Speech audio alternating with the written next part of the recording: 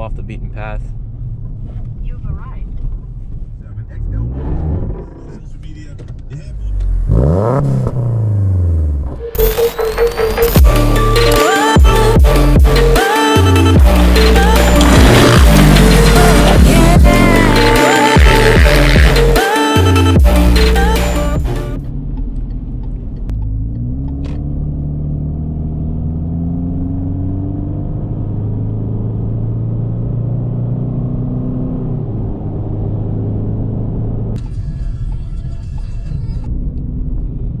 they have What is up, everybody?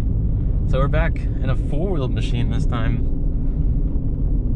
Uh, it's actually gonna go mountain biking, and uh, everything's underwater right now in Florida. All the mountain trails that I like to go to. Uh, so I figured I'd go to this one. It's uh, this is Paisley Forest. It's in Ocala. Um, and there's a nice little trail that's not really, it's just long and flat, but you can get a good exercise in. And uh, so it's not really good for video for the trail, but I figured I'd bring my car out because it is kind of off road to get to the trailhead. Um, do like a little build breakdown. Um, but yeah, it's a really cool little trail, a little off the beaten path. You've arrived. I've had some questions on this Subaru too.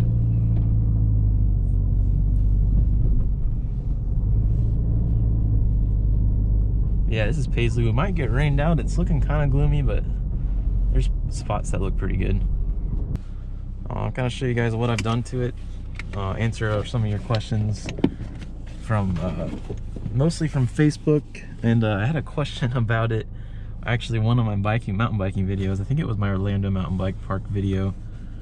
Uh, somebody had saw it and were like, "That's a really dope Subaru," and asked me like what lift kit I had, how does it do off road, that kind of thing. So I figured I'd kind of go through it. I haven't done it. It's been a while since I posted that video, so I do apologize for not getting back to you so soon with another video. But uh, yeah, at least better late than never, right? So this is the Subaru. But before we start, I gotta take a piss. Yeah, it's been raining really badly in Florida lately, so it's just been all the good trails are underwater right now. it's it's insane.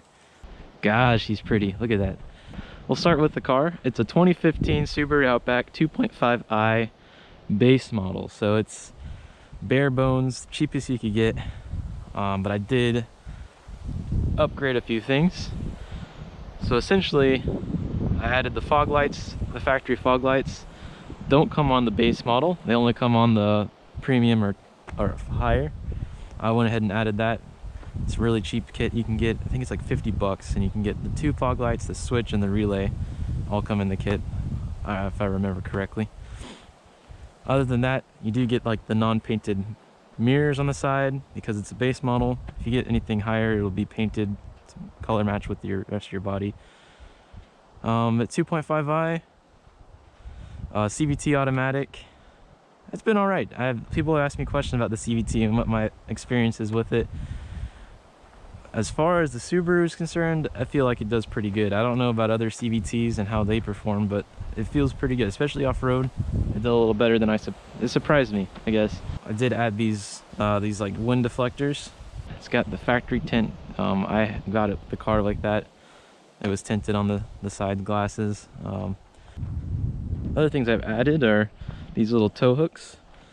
So these are little tow hooks. They um, factory tow hook, and then I drilled a little hole in this little plate. Um, that way I can tow, tighten that in there. It's a little loose. All right. Hoping no one was trying to take that off. but uh, yeah, and then I just got these little hooks with these rubber stoppers to keep it from like moving around too much. Um, these are really nice. I haven't had to use them yet, but if I ever need to, uh, it's nice to have. Uh, I got the same thing on the back. Same little tow hook on the back. I got the, the trailer hitch. So I got a, a Curt 4,000 pound class 3 hitch. Uh, it's really, really good hitch. I like it a lot. And then I ran the wiring. Most people leave the wiring inside the trunk and then just leave it routed outside when they need to use it. But I actually ran the wiring out to the back um, and then put a little plate there so I can mount it. And that way I can just unplug it and plug it. It's always there. No biggie. Let's see. What else? Oh, this little uh, decal here. Nice little black decal. It's very subtle, very clean looking. I like it a lot. Uh, it's a vinyl decal, so held up really well. Still, still going. Tires and wheels. All right. So the wheels are Motegi. I think they're called MR 118s. Really good wheel. I love this wheel. It's super lightweight, super strong. Haven't had any issues with it. And then the tires are a Kenda Klever, and they're 245, 65, 17.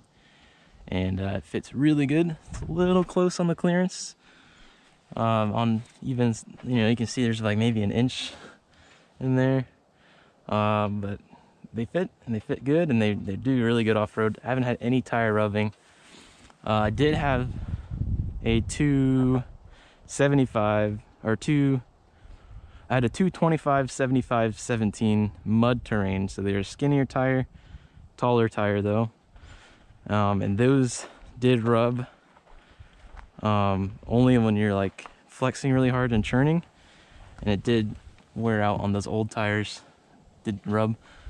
But uh, these this size works really well and it's good on-road off-road. There's not a lot of noise to them i really like them let's do oh exhaust so i got an exhaust on this thing. It's from lp performance so or lp adventure. They're a company out in quebec canada. So that's the little badge they give you if you buy any of their products. And it's got an lp exhaust. And i'll show you something here in a second if i can get to it. So this is the exhaust. I don't know if y'all yeah you guys should be able to see that. Uh, LP LP Performance, Lachute Performance. That's what LP stands for. Now on this exhaust, if you're running a class 3 hitch, um, this hitch is very, very beefy and you see that plate up there.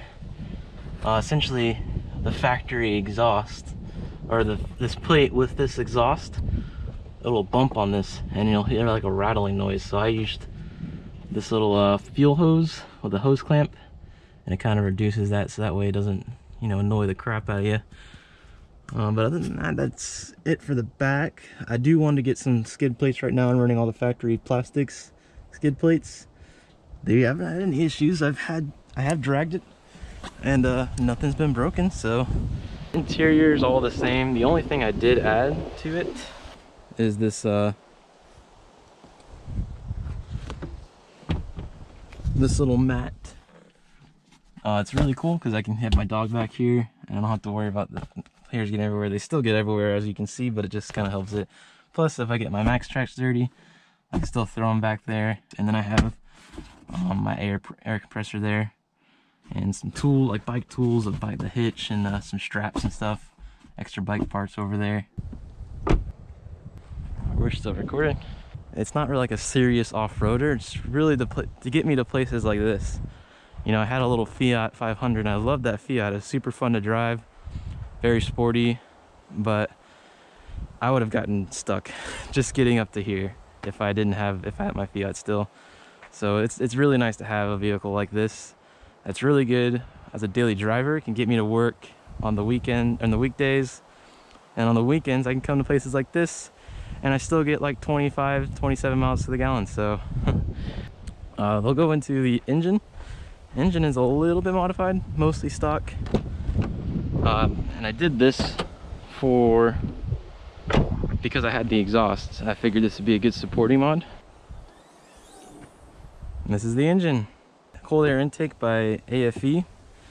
So here's the uh, intake system and then the CARB emissions and everything. It's a Takeda intake system, AFE power, uh, it's just got this tube and it uses the factory ducting and then it's got a pod filter inside this so it's really nice uh, adds a little bit of noise a little bit better airflow and I have noticed uh, lower end RPM is a lot more responsive so um, it's a really good intake I highly recommend it. it's a little pricey but it works really well uh, then obviously I got the SSD light bar up front which is here and I have the uh, these four big LED lights and they've been really good. I went, I do like the bioluminescence every now and then, and when you go out to bioluminescence out in the middle of nowhere, because uh, you have to be really dark in order to see the uh, the plankton illuminate.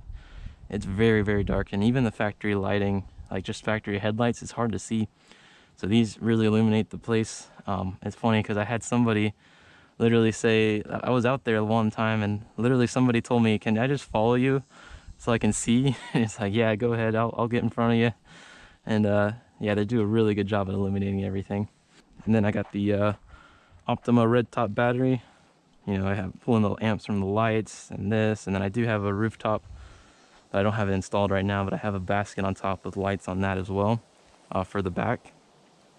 And uh, it'll just be nice because I'm pulling a lot of amps, so it's good to have a nice solid state battery like this. But yeah, that's the engine. Uh, let's see, what else is left? Lift, lift kit.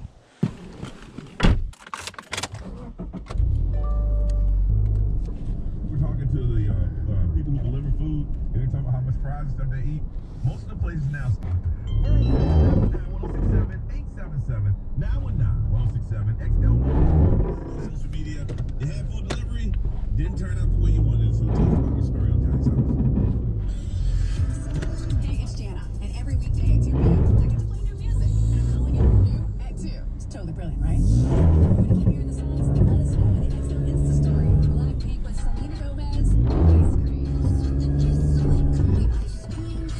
There we go. But the uh, lift kit is a Ready Race lift kit. Uh, factory springs. And there's a little bit better picture of what's underneath it. And then here's the uh, good old Kenda tire. And there's a little bit of a how much you can really flex it. It does really good, and you know, obviously Subaru is known for their symmetrical all-wheel drive, so uh, you know, has a lot of grip. It basically simulates locking diffs by uh, applying like brakes on the spinning wheels. So you you know you can get through situations like this where you're spinning a lot of tire, it actually force that spinning tire to stop and give you grip to the one that has grip, and then push you through, uh, just like it was doing there. Might give you a little bit of hesitation. You might hear that ABS motor going like crazy, but you know you just gotta have to trust it and let it do its thing.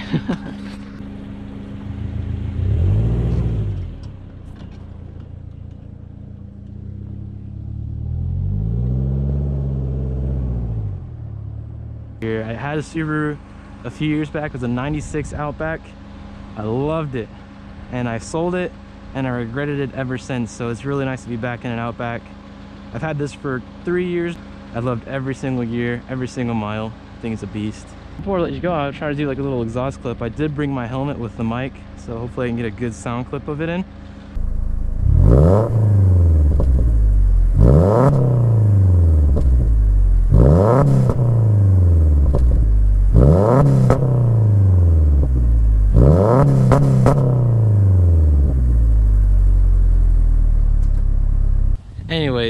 Thank you so much for watching. We are 63 subscribers strong, so I do appreciate everything. You guys are the best. It'd be really dope if you smash that like button. It'd be really awesome if you subscribed, and I'll catch you in the next one. Peace. Wild Subaru in its natural habitat. I don't want to spook it. Oh, this is this is a sight to see, y'all. This is a sight to see. Thank you.